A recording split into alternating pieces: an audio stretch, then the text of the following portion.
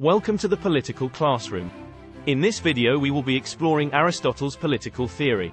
Aristotle was a philosopher and political theorist who lived in ancient Greece from 384-322 BCE. He was a student of Plato and a teacher of Alexander the Great, and his works had a significant impact on Western philosophy and political theory. Aristotle believed that the state is a natural and necessary institution that arises from the very nature of human beings. According to him, the state is not created by a contract or agreement among individuals, but is an organic entity that develops gradually over time. Aristotle saw the family and household as the basic building blocks of society. He believed that the family is the first and most important institution of society, and that it is the foundation on which the state is built. The household is the basic economic unit of society, and it is through the household that people satisfy their basic needs and desires. Aristotle saw the family and household as the means by which people learn to live together and to cooperate with one another, and he believed that these institutions provide the necessary groundwork for the development of more complex social and political structures.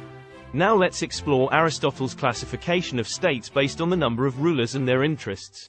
Aristotle believed that the form of government a society adopts determines its destiny, he classified states based on the number of rulers and their interests, dividing them into two categories, pure forms and perverted forms. Aristotle identified three pure forms of government, monarchy, aristocracy, and polity. Monarchy is a form of government where power is held by a single individual, typically a king or queen. Aristotle believed that monarchy was the best form of government, as long as the ruler was wise and virtuous. Aristocracy is a form of government where power is held by a small group of individuals who are distinguished by their wealth, status, or education. According to Aristotle, aristocracy was the second best form of government, as long as the rulers acted in the interests of the common good rather than their own. Polity is a form of government where power is held by the citizens as a whole. Aristotle believed that polity was the best form of government in situations where the population was relatively small, and the citizens were virtuous and engaged in the political process. Aristotle also identified three perverted forms of government. Tyranny is a form of government where power is held by a single individual who uses it for their own benefit, rather than the common good. Oligarchy is a form of government where power is held by a small group of individuals who use it for their own benefit, rather than the common good. Democracy is a form of government where power is held by the citizens as a whole, but it is often corrupted by demagogues who appeal to the emotions and prejudices of the people rather than their reason and virtue. Aristotle believed that the best form of government depended on the circumstances of the society, and that any form of government could become corrupt if its rulers acted in their own self-interest rather than the common good. Aristotle believed that the primary function of the state was to promote the common good and individual flourishing. The state was responsible for ensuring that citizens had the necessary conditions for living a good life, such as security, education, and access to basic needs like food and shelter. Moreover, Aristotle believed that the state was responsible for providing justice and preserving the rule of law. He argued that justice was the foundation of any well-ordered society, and it was the state's duty to ensure that its citizens were treated fairly and equitably. The state's laws and regulations should be just and impartial, applying equally to all citizens regardless of their social status or political power. Aristotle also believed that the state should play a role in regulating the economy to ensure that wealth was distributed fairly among citizens. He saw the accumulation of wealth as potentially harmful to the common good, and believed that the state should limit the power of the wealthy to prevent them from dominating the political and economic landscape.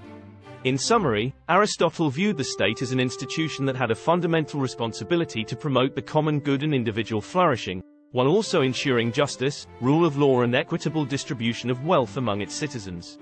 Aristotle viewed revolution as a natural consequence of injustice and the failure of the ruling class to address the needs of the people.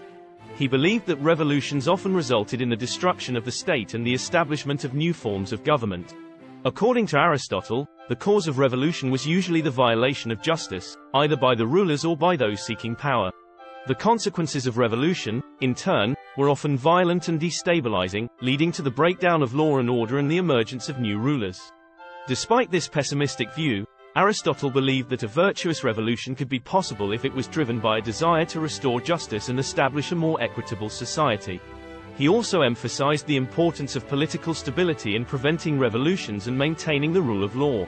Aristotle believed that the virtue of the citizens is the key to a stable and flourishing state. He defined virtue as a habit or disposition to act in a way that leads to human flourishing.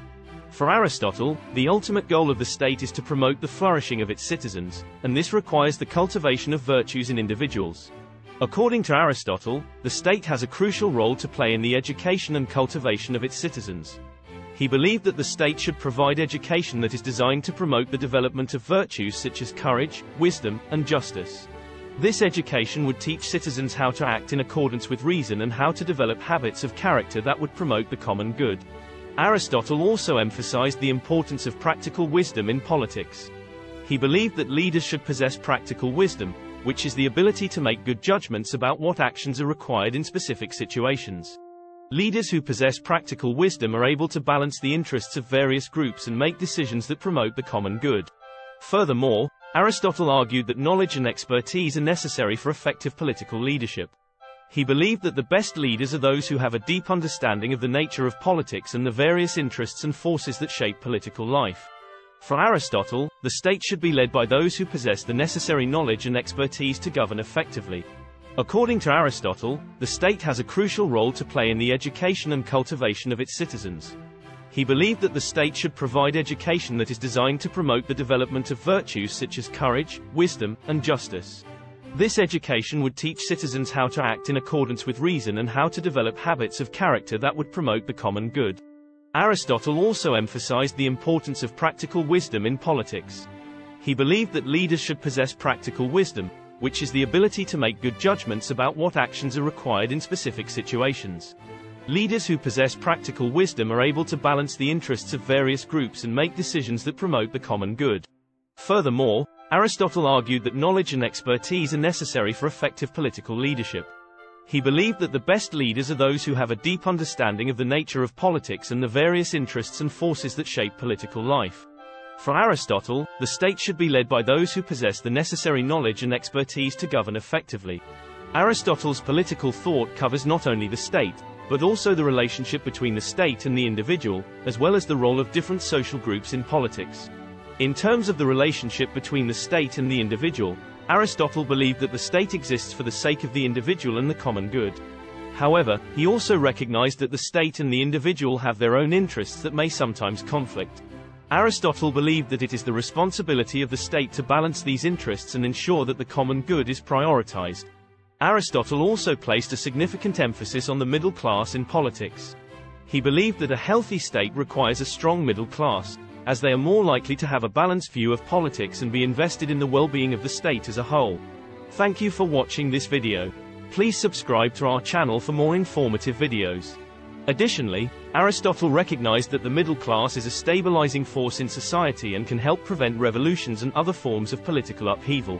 In terms of the role of women in society and politics, Aristotle's views were more limiting. He believed that women were inferior to men in both intelligence and physical ability, and as such, their role in society should be limited to the domestic sphere. Aristotle believed that women were not suited for political life, as their lack of reason made them incapable of making sound political decisions. While this view may seem outdated and sexist by modern standards, it is important to recognize that Aristotle's views were a product of his time and cultural context. In conclusion, Aristotle's political thought has had a significant impact on political theory, philosophy, and governance throughout history. His ideas on the nature of the state, forms of government, functions of the state, theory of revolution, virtue and knowledge, and other relevant thoughts remain relevant today. Many of his concepts, such as the importance of promoting the common good, the rule of law, and the cultivation of virtue in citizens, are still applicable to contemporary politics and society. Thus, it is imperative that we continue to study and reflect upon Aristotle's ideas as we seek to develop just and effective systems of governance. Thanks for watching. Subscribe to our channel for more informative videos.